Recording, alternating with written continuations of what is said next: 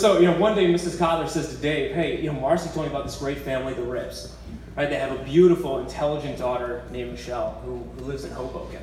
Um, you know, would it be okay if we tried to set you guys up on a date? And Dave was like, absolutely, but like, of course, give me the digits, right? We'll, get this going.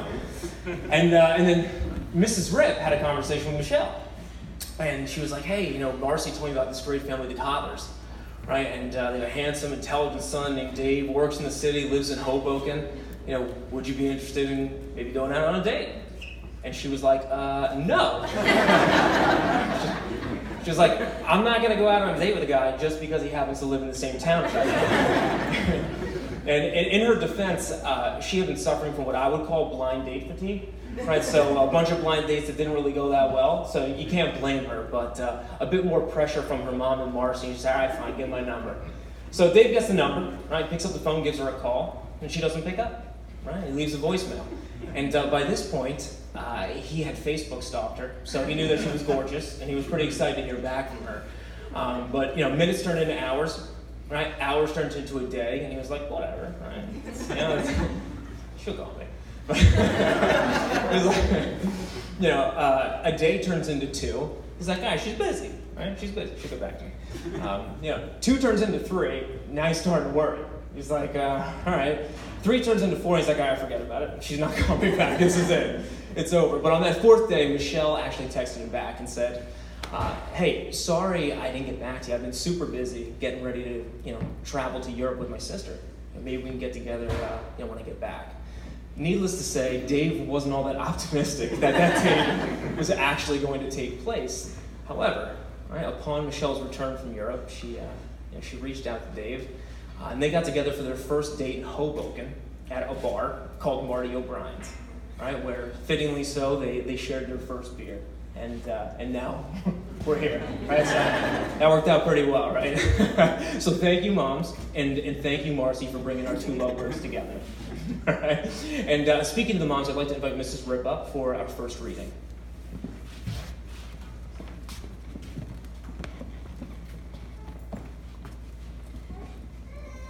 Love is a temporary madness. It erupts like volcanoes and then subsides. And when it subsides, you have to make a decision. You have to work out whether your roots have so entwined together that it is inconceivable that you should ever part because this is what love is. Love is not breathlessness, it is not excitement, it is not the promulgation of eternal passion. That is just being in love, which any fool can do.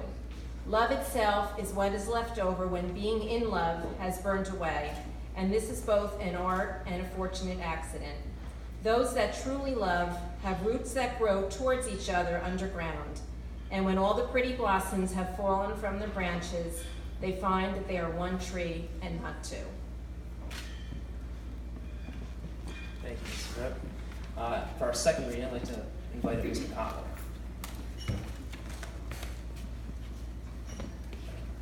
Hello, everyone. When, when things in your lives seem almost too much to handle, when 24 hours in a day are not enough, remember the mayonnaise and two cans of beer. Uh, very appropriate a professor stood before his philosophy class and had some items in front of him. When class began, he wordlessly picked up a very large and empty mayonnaise jar and proceeded to fill it with golf balls. He then asked the students if the jar was full. They agreed that it was. The professor then picked up a box of pebbles and poured them into the jar. He shook the jar lightly the pebbles rolled into the open areas between the golf balls. He then asked the students again if the jar was full.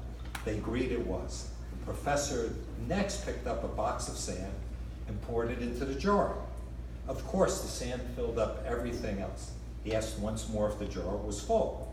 The students responded with a unanimous yes. The professor then produced two cans of beer from under the table and poured the entire contents into the jar effectively filling the empty space between the sand. And the students laughed. Now, said the professor as the laughter subsided, I want you to recognize that this jar represents your life. The golf balls are the important things your family, your children, your health, your friends, and your favorite passions. And if everything else was lost and only they remained, your life would still be full. The pebbles are the other things that matter, like your job, your house, and your car. The sand is everything else, the small stuff. If you put the sand into the jar first, he continued, there's no room for the pebbles or the golf balls. The same goes for life. If you spend all your time and en- energy on the small stuff, you'll never have room for the things that are important to you. Pay attention to those things that are critical to your happiness. Play with your children and grandchildren. Take time to get medical checkups. Take your spouse out to dinner. Play another 18. There'll always be time to clean the house and fix the garbage disposal. Take care of the golf balls first, the things that really matter. Set your priorities. The rest is just sand. One of the students then raised her hand and inquired, What did the beer represent? The professor smiled. I'm glad you asked. It just goes to show no matter how full your life may seem, there's always room for a few beers with a friend. Thank you, Mr. Kotler.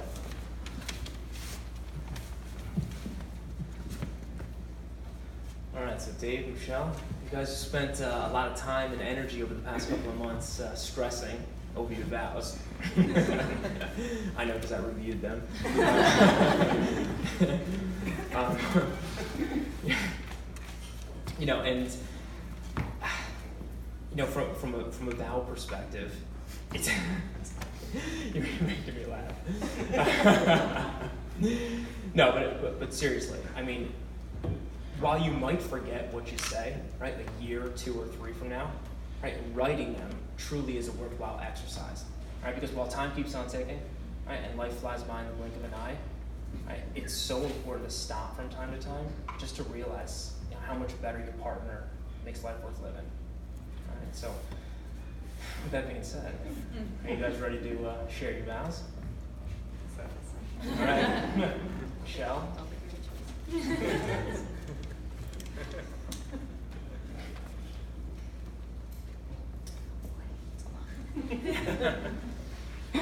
Dave, it was just about four years ago that I was giving my friends the scoop on the new guy I was seeing. If I remember correctly, my response was something along the lines of, I don't know, I guess I'll see what happens. Around that same time, you showed up for dinner at my apartment with a bouquet of flowers because we had met one month ago on that day. Clearly, I underestimated how serious things were getting. It's no secret that while you were open and willing to being set up on a blind date, I initially refused to be set up with you. In my defense, who wants to be set up by their mom? this will always be my biggest regret. If I had known that coming home to you each night would be my favorite part of my day, that binge watching TV shows together on a Friday night would be something I look forward to all week, and that I would come to love your family and friends as my own, I never would have second guessed meeting you for a drink. I knew very early on that I wanted to marry you. I never believed people when they said, when you know, you know. But that's exactly what happened. As soon as we spent more time together, it seemed like you were too good to be true. Someone that was genuinely kind and thoughtful and wasn't afraid to show me and tell me how you felt about me. I always wondered who I would marry and how our relationship would be. I never imagined that I would find everything I was looking for in one person. You understand me like no one else has and make me feel truly comfortable with being myself. I appreciate that you mildly put up with my complaining and sometimes laugh at my bad jokes. I love that you send me pictures of puppies and get excited about a trip to ShopRite or Trader Joe's. I love how excited we both are when we snag the money spot when we're parking the car. But most of all, I love that you never make me doubt that we're in this thing together. I promise to never stop exploring new mountains with you as long as my knees hold out, and to always go halvesies with you when we're ordering food. I promise that I'll always be willing to travel new places, eat new foods, drink new beers, and make the most out of our lives together. I promise to cook dinner with you every night, and will try not to complain so much about making lunch for work the next day.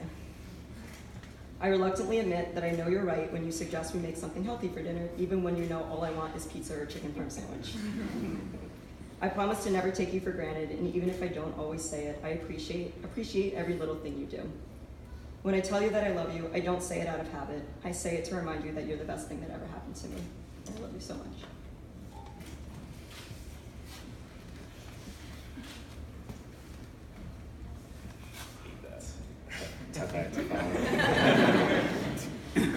So, I don't think I need to tell everybody here how lucky I am, given that you're on board with getting married at a, place like this.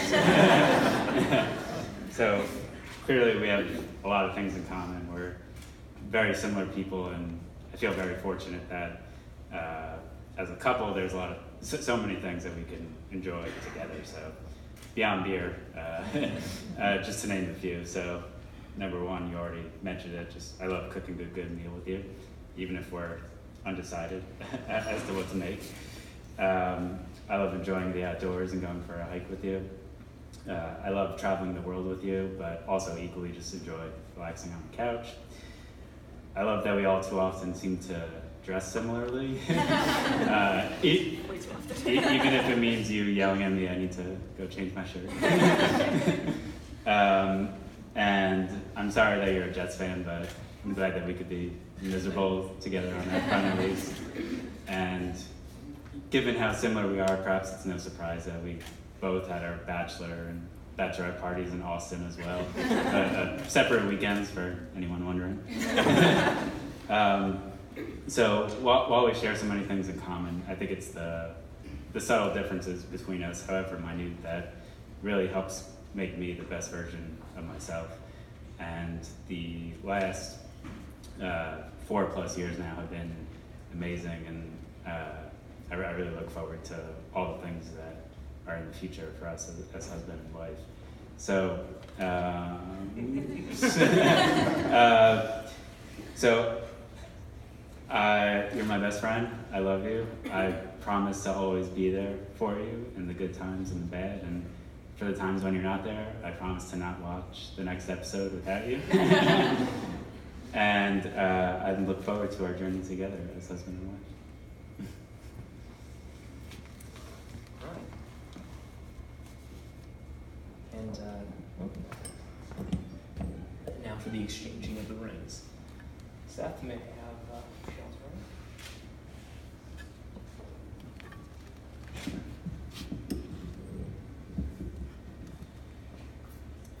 All right, Dave, please take Michele's ring, place it on her finger, and repeat after me.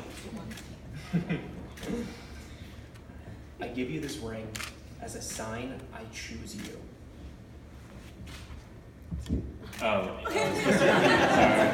Um, Uh, we can re- re- re- repeat one more. restart.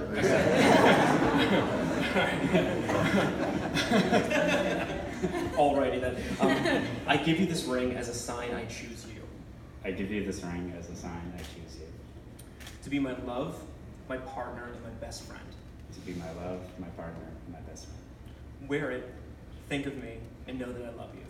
Wear it, think of me, and know that I love you. Seth, Dave's ring, please. Michele, please take Dave's ring, place it on his finger, and repeat after me.